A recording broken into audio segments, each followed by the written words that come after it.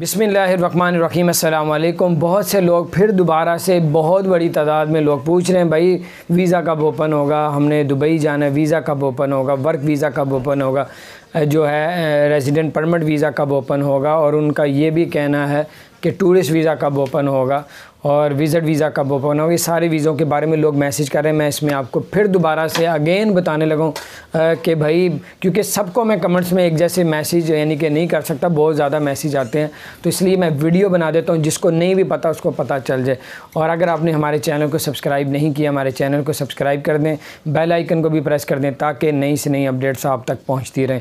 اور باقی لوگوں کا جواب یہی ہے، جو پہلے بھی میں نے کہا تھا کہ بھائی وبا بڑھتی جا رہی ہے۔ جب یہ وبا کرونا کم ہوتا جائے گا لوگوں کے اندر تو یہ پھر جب دیکھیں گے، ابھی تو اپنے ملک میں جو لوگ رہ رہے ہیں، ان سے وہ نہیں سنبھالے جا رہے۔ تو مزید لوگوں کو کہاں سے لے کے آئیں گے؟ جو ابھی ملک میں کام کر رہے ہیں، ان کو وہ فارغ کر رہے ہیں۔ مزید ورک پرمٹ کو کہاں لے کے آئیں گے؟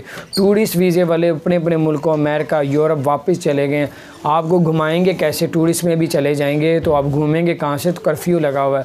جب تک اور ریزیڈنٹ پرمٹ کہاں سے لیں گے؟ لوگ ریزیڈنٹ پرمٹ والے پھنسے میں دبئی جانا چاہتے ہیں لیکن نہیں جا سکتے۔ لیکن وجہ کیا ہے، میں آپ کو صرف حقیقت دکھانا چاہ رہا ہوں کہ جب تک یہ کرونا دنیا سے اور دبئی سے اس کی تعداد کم ہو جائے گی تو انہوں نے فوراً کھول دینا۔ ہے کیونکہ اس میں دبئی جو چل رہا ہے، وہ پٹرول سے چل رہا ہے، دوسرا ٹورسٹ سے چل رہا ہے۔ پوری دنیا سے لوگ ٹورسٹ ادھر سے آتے ہیں، ادھر شاپنگ کرتے ہیں۔ فری ڈیوٹی وہاں پہ جو بھی ہے۔ بارہ وہ شاپنگ کے لیے آتے ہیں۔ ان کا جتنا کرنسی ریٹ اب جاتا ہے، وہ صرف ان کا جتنا پیسہ دبئی میں اکٹھا ہوتا ہے، وہ ٹورسٹ سے ہوتا ہے۔ جتنی بھی بڑی بڑی بلڈنگیں اور پتہ نہیں کیا کیا بنا لیا انہوں نے، وہ سب کچھ جو ہے، وہ صرف ٹورسٹ کی وجہ سے ہی بنایا ہے اور ان کی انکم بھی جو ہے زیادہ ٹورسٹ سے ہے۔